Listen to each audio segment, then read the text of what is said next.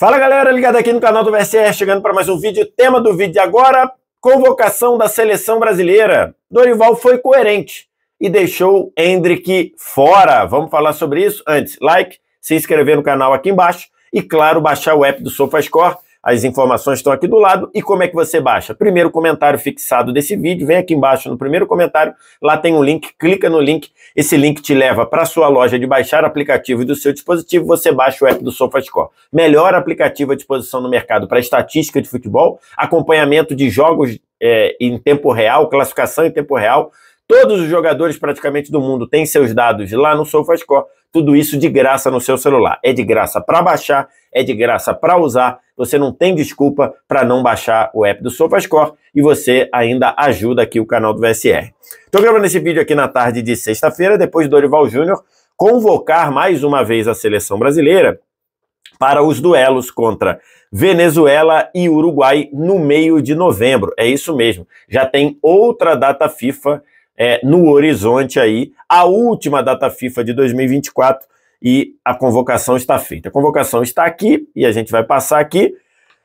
Goleiros Ederson Bento e o Everton. O Alisson ainda está fora de combate, então ele chama aqui os mesmos goleiros da data FIFA anterior. Laterais Wanderson e Danilo para a direita, Abner e Arana para a esquerda. Zagueiros Militão, Gabriel Magalhães e Marquinhos. E a maior novidade desta data FIFA, estou falando de Murilo. O do Palmeiras? Não. Murilo do Nottingham Forest, aquele revelado pelo o Corinthians. Na meia, nenhuma novidade.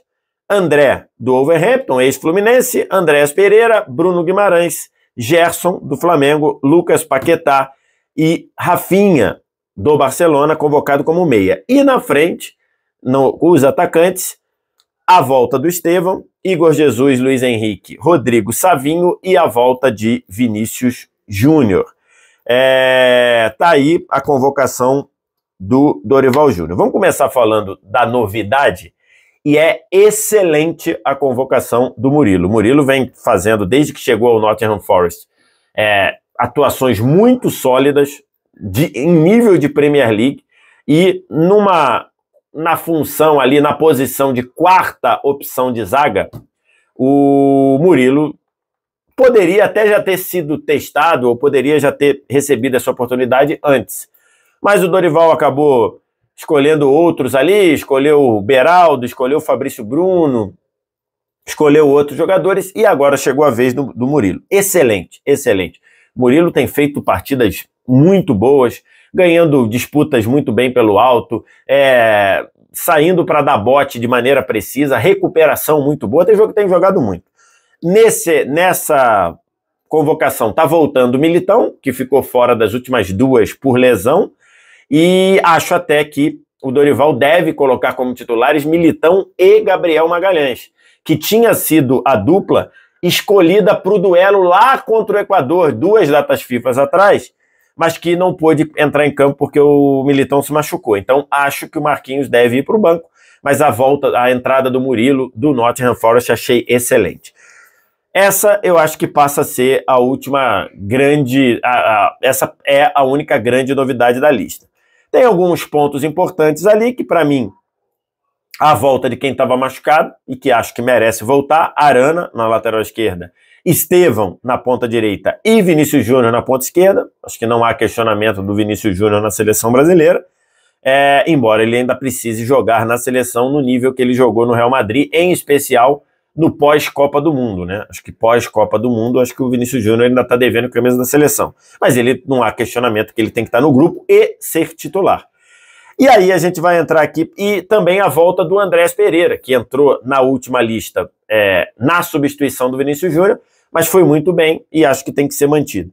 É, e agora a gente vai falar da parte ou de convocações que não deveriam estar tá aí, no meu entendimento, e da ausência do Hendrick. Vamos lá, ausência do Hendrick. O Dorival é muito coerente em não chamar o Hendrick. Por que, que ele é muito coerente? Porque acho que está muito claro que para o Dorival o Hendrick não está no nível de impactar neste momento. E isso fica claro como os minutos do Hendrick vão fazendo assim, ó. Se a gente pegar, se fosse um gráfico, fariam assim. O Hendrick é, aparece lá como salvador da pátria naqueles amistosos, quando lá no contra a Espanha e Inglaterra, quando vem para a Copa América, já vem perdendo minutos. A gente todo mundo imaginava que ele fosse titular, só foi titular na bucha lá contra o Uruguai. Depois na data FIFA, o Pedro começaria jogando. Quando o Pedro se machuca, não é o Hendrick que começa, é o Rodrigo. Depois o Hendrick foi no jogo seguinte contra o Paraguai e foi substituído no intervalo. E na última data FIFA ele nem entrou. Para trazer o Hendrick assim, era melhor não convocar. Inclusive, isso é um vídeo aqui no canal. O canal tem um vídeo falando exatamente sobre isso em que eu explico. E agora o Dorival foi coerente. Na cabeça do Dorival, o Hendrick não está pronto para impactar agora. Ponto. Se não está pronto, melhor não chamar. Então acho que nisso é coerente. Se está certo ou não, é um bom ponto. Mas eu acho que para você trazer o Hendrick, você tem que trazer para confiar no Hendrick. E acho que está claro que o Dorival não confia no Hendrick neste momento. Talvez ele até esteja certo. O Hendrick é, viu, viu seus minutos rarearem no Real Madrid. Isso está sendo, inclusive, tema lá na imprensa espanhola, lá na imprensa de Madrid.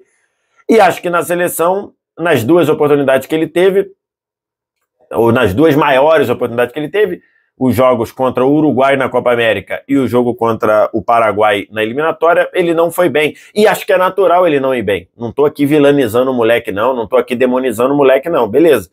Mas acho que faz mais sentido você não chamar o Hendrick do que trazer para ficar expondo o Hendrick a situações ali de não ser nem cogitado, como foi o caso da última, do, da, mais ou menos da última data FIFA. Então, acho que ele acerta é, em termos de postura em não trazer o Hendrick. Para trazer do jeito que ele estava trazendo, é melhor não trazer. Porque acho que está claro que o Dorival não confia do Hendrick neste momento.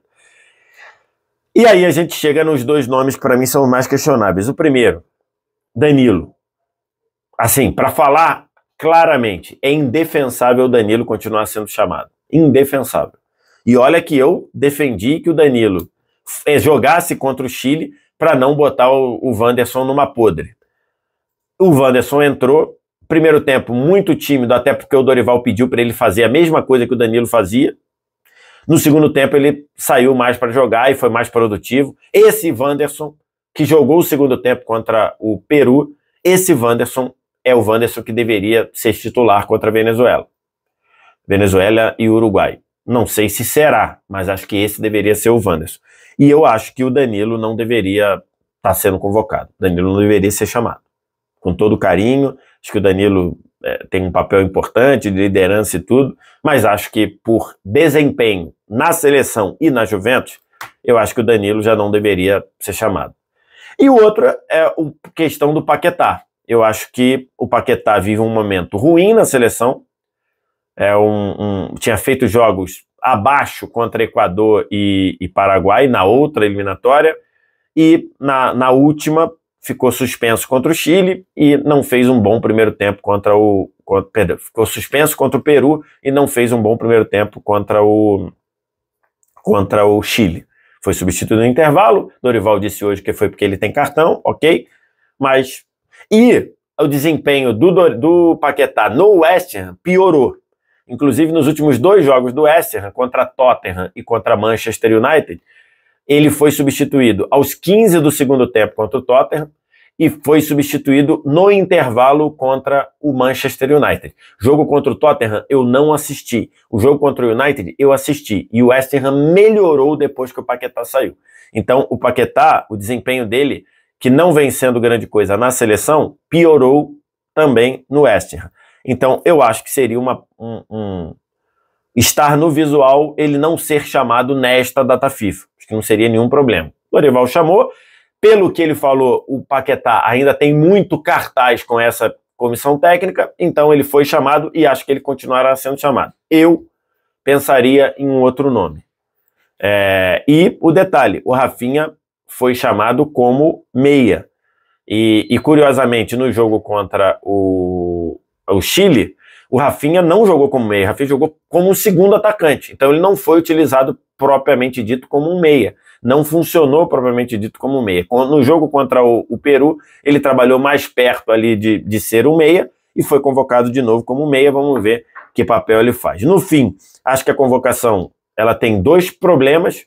Um problemaço que é o Danilo estar tá aí presente, mas lógico, tem a questão, Danilo é líder, é capitão, então a seleção, o, geralmente o técnico da seleção, ou pelo menos o Tite era assim, e o Dorival parece assim também, para fazer mudança mais drástica na seleção, demora, não é de uma hora para outra, mas eu acho um problema de mérito, de, de desempenho, complicado você ter o, o Danilo na seleção. Eu não, não traria. É, e acho que o Lucas Paquetá poderia ter tido um descanso porque ele está caindo de produção. No mais, voltar Igor Jesus, voltar Luiz Henrique, voltar Andrés Pereira, voltar o próprio Abner, que foi bem, ok, legal. Voltar por lesão, Arana, Estevão e Vinícius, justo, justo. Convocação do Murilo, do Nottingham, excelente medida. Então acho que é isso aí. Gerson, mantido, excelente medida. Gerson fez um bom segundo tempo contra o, o Chile e fez um grande jogo contra o Peru. Então acho que é isso. Acho que é uma boa lista, mas com dois problemas para mim. Um é o Danilo e o outro é o Paquetá. E tem, sempre eu vou elogiar quem é coerente, a não chamar o Hendrick é coerente com o que o Dorival acredita. O Dorival, neste momento, não confia no Hendrick, então não chamou. Faz todo sentido. Quero te ouvir. O que você tem a dizer? Qual é o, qual é o, o grande problema? É o Danilo mesmo? Diz aqui embaixo. No mais, like, se inscreve aqui no canal aqui embaixo. Aqui embaixo também você baixa o app do SofaScore, melhor aplicativo à disposição do mercado para estatística de futebol. Você baixa, tem o melhor aplicativo de graça no seu celular e ainda ajuda aqui o canal do VSR. Baixa aí, por favor. Obrigado demais pela audiência. Um abraço. Tchau.